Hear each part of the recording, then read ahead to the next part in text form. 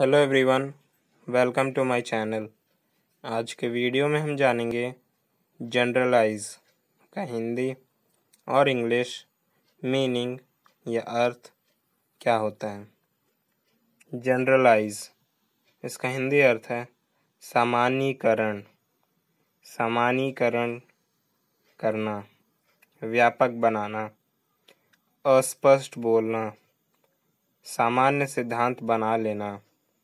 अस्पष्ट कहना, विशेष से सामान्य अनुमान निकालना। वहीं इसका इंग्लिश मीनिंग है make a broad statement by inferring from specific cases example से समझने से example painting with a white brush Gary begin to generalize यहाँ जनरलाइज का मतलब है व्यापक बनाना। उदाहरण, एक विस्तृत ब्रश के साथ पेंटिंग गैरी को व्यापक बनाना शुरू किया। इसी के साथ आज के वीडियो में इतना ही। Thank you so much for watching